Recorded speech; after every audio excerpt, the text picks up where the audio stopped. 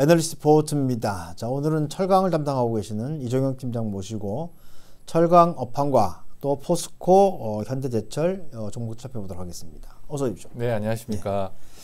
자, 코로나 국면을 지나면서 모두가 다 어려운 그런 네, 상황인데. 네. 철강 쪽도 힘들겠죠. 아, 철강 쪽도 상당히 지금 힘든 상황입니다. 네, 그 상황 좀 살펴주시죠. 네. 사실 그 저희가 이제 당초에는 어, 작년 말에 미중 무역 분쟁 우려가 이제 완화되면서 중국 경기가 이제 안정을 찾고 올해 이제 철강 가격과 비철 가격들이 반등이 나오면서 철강 업종 주가가 좀 좋을 것으로 다들 그렇게 이제 예상을 했었습니다. 네. 그런데 이 코로나 19로 인해서 그 연초에 예상했던 경로가 완전히 그 뒤바뀌었다라고 뭐 보시면 될것 문을 다 같고요. 닫아 버렸으니까 네, 맞습니다. 삐집고 들어갈 데가 없는 거죠. 네. 예.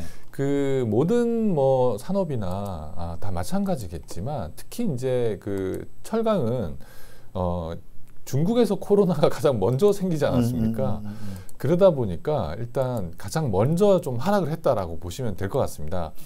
저희가 이제 그 기준으로 삼는 중국 열연 강판 가격하고 포스코 주가를 이제 비교해서 보시면 여전히 거의 동행하는 모습들이 나오고 있는데요.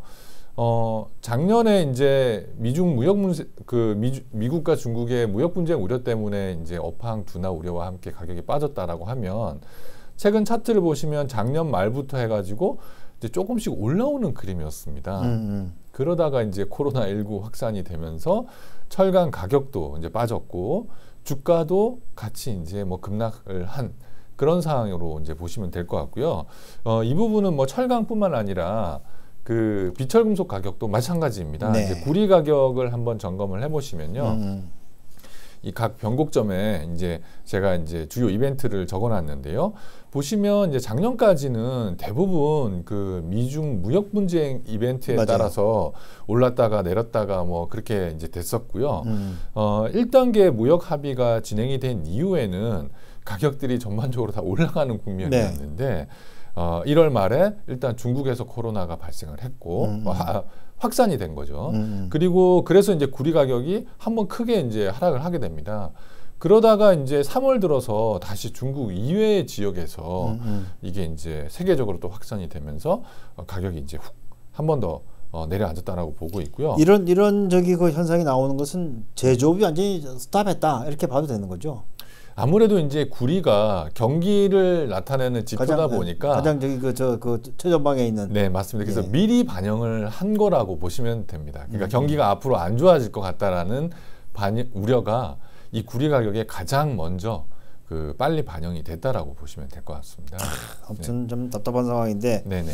앞으로 그러면 이제 어떻게 풀려 나갈 것이냐. 네. 아, 그게 문제 아니겠습니까? 네 맞습니다. 어, 그래서 오히려 앞으로는 조금 더 긍정적인 관점에서 좀 접근이 가능하지 않을까 일단 그 말씀은 보고 있습니다. 더 이상 팔 저기 그 바닥이 없다 그런가요? 아, 뭐 단기적으로는 조금 출렁일 가능성은 있긴 한데요. 음, 음, 음. 조금 큰 그림에서 본다라고 하면 어, 2분기에는 반등이 좀 나타나지 않을까 일단 그렇게 음, 전망을 하고 음, 있습니다. 어, 그렇게 전망을 하는 이유는 바로 이제 이 중국의 경기 상황 때문인데요. 어, 유럽이나 미국 같은 경우에는 아직도 이제 코로나가 더 확산이 되고 있는 상황이긴 하지만 중국은 2월 말 3월 초를 정점으로 해서 이 코로나 이슈가 사실상 진정이 되고 있는 국면입니다. 저희가 이 철강 가격과 비철 가격의 핵심 지표 하나만 꼽으라고 한다라고 하면 그건 바로 중국의 GDP 성장률로 대변되는 경기 모멘텀일 텐데요. 어, 아시겠지만 지금 1분기는 중국 GDP 성장률이 아마 마이너스까지도 지금 예상이 되고 있는 상황이지 않습니까? 그런데 상대적으로 2분기부터는 아마 좀 반등이 나올 걸로 이제 그렇게 보고 있습니다. 저희가 최근에 이제 이 철강 비철의 사이클을 좀 구분을 해보면요. 2016년부터 2018년 상반기까지가 업사이클이었습니다. 음. 이때 당시에는 중국 GDP 성장률이 안정을 보이던 시기였다라고 볼 수 있고요. 음. 하락 사이클이 시작된 거는 2018년 이제 3분기 하반기부터 어, 지금까지인데요. 어, 이 그림은 바로 중국의 성장률과 거의 유사하다라고 보실 수 있습니다. 그런데 1분기 성장률이 어, 급락한 이후에 2분기부터 이제 반등이 예상이 되고 있기 때문에 어, 오히려 철강이나 비철 가격도 2분기부터 반등이 나올 가능성이 높다라고 보고 있고요. 음, 음, 그 음. 시기는 1분기 GDP 성장률이 발표되는 4월 18일 전후 이유가 되지 않을까 보고 있습니다. 왜냐하면 저희가 어, 어떤 지표의 바닥을 확인을 해야 그렇죠. 앞으로 이제 얼마나 좋아질지가 가늠이 되기 때문에 1분기 GDP 성장률이 발표되는 그 시점을 주목해서 보실 필요가 있고 그 이후에 철강이나 비철 가격의 어, 상승 반전이 나타날 가능성이 높지 않을까 음, 그렇게 전망을 하고 있습니다. 네, 그렇군요. 네. 아무튼 뭐라도 좀 움직여줘야지만 숨통이 트이는데 네. 너무 좀 굳어 있기 때문에 네네. 이제 그런 부분들이 있는 것 같고 네. 문제는 이제 종목 아니겠습니까? 네네. 아, 우리 이제 대표적인 저기 그 철강업체면 이제 포스코하고 현대제철인데 네. 어, 이 기업들이 동행하는데 어떻습니까? 어, 사실 이제 이 두 회사들의 주가는 어, 철강 가격과 동행을 하고 음, 음, 그 실적이 주가에 좀 후행하는 측면이 있습니다. 네, 어, 네. 그러니까 어, 주가는 철강 가격에 철강 가격은 daily로 발표되니까요. 그 가격에 이제 반응을 미리 하는 거고요. 실적은 중국 철강 가격의 한 분기에서 두 분기 정도 후행을 하기 때문에 오히려 분기 실적은 지금부터 안 좋아진다. 음, 음, 오히려 지금부터 깨진다. 이제 그렇게 보시면 될 것 같습니다. 그래서 음, 음, 음. 1분기 실적도 어, 예상보다는 부진할 가능성이 이제 높, 높은 상황이고요. 특히 이제 3월부터 이 철강 가격들이 본격적으로 빠졌기 때문에 1분기 실적은 예상을 좀 하회할 가능성이 커졌습니다. 포스코 같은 경우에도 당초에 저희가 한 7천억대 중반 정도까지 이제 보고 있었는데요. 지금 이제 5천억대 중후반 정도까지 어, 전망 기대치를 좀 낮춰놓은 상황이고요. 지금 컨센서스는 계속해서 지금 떨어지고 있는 상황으로 보시면 됩니다. 음, 음, 음. 그리고 현대제철 같은 경우에도 작년 4분기가 이제 그 적자를 기록했었고요. 음, 음. 어, 올해 1분기는 어, 당초 이제 흑자 전환에 성공하지 않을까 일단 그렇게 조심스럽게 기대를 했는데 여전히 이제 그 적자가 지속될 가능성이 높은 걸로 어, 그렇게 전망을 하고 있습니다. 네. 특히나 이 포스코와 현대제철은 그 자동차 강판 비중이 높은 회사들입니다. 그러니까.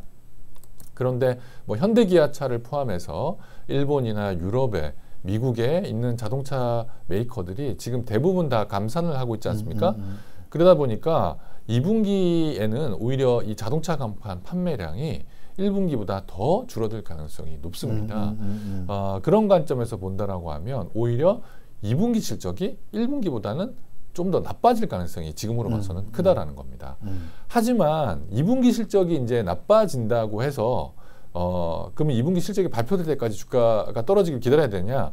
그건 아니라고 보시면 주가가 되고요. 먼저 움직이니까. 네, 맞습니다. 예, 이분 예. 이미 주가는 철강 가격과 동행을 하고 이 분기 실적은 철강 가격에 후행하기 때문에 음, 음, 음. 코로나 발생으로 인해서 철강 가격이 하락한 부분이 이미 주가에는 상당 부분 반영이 됐다라고 보시는 게 음. 아, 맞다라는 겁니다. 사업의 구조를 보면은 네. 아, 자동차 경기 더 이렇게 그거, 그 메인 쪽이 현대제철 아니겠습니까?